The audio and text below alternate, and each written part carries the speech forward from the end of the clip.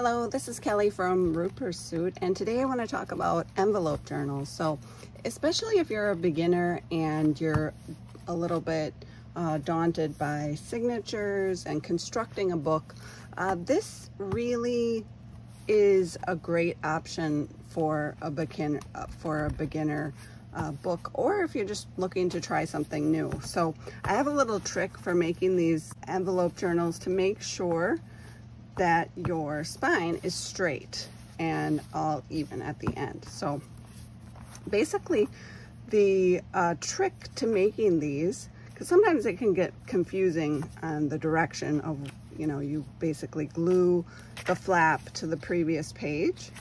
People get confused, but here's a really quick and easy way to do it. You basically want to get your spine, uh, which is this side, and all your envelopes uh, all even up. And then you take, so you're, you're piercing the uh, spine side with your fingers, and then you take a clamp or I don't know, clothespin or binder clips or something like that and clip it together and then everything sort of stays in place.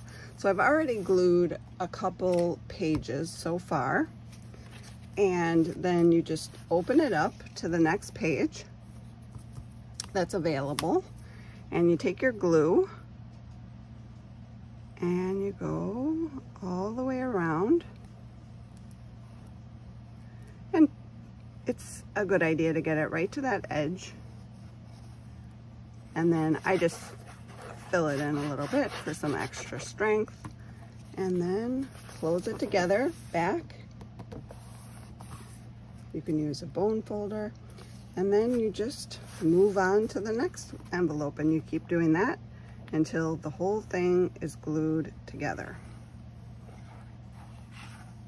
So we'll do one more like that.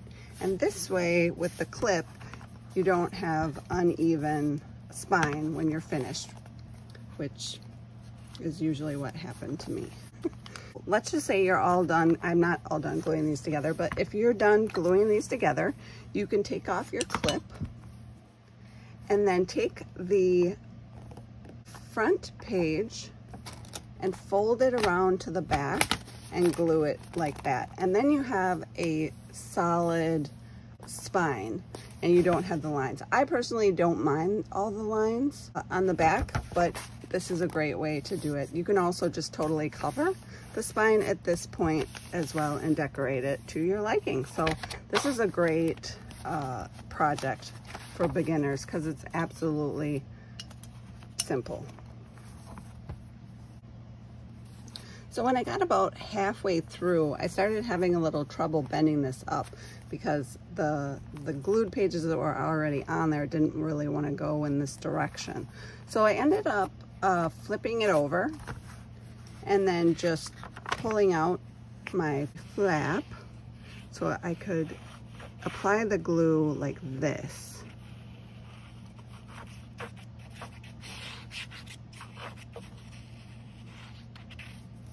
And then when I had the glue applied, then I could just pop it back in there and then apply pressure.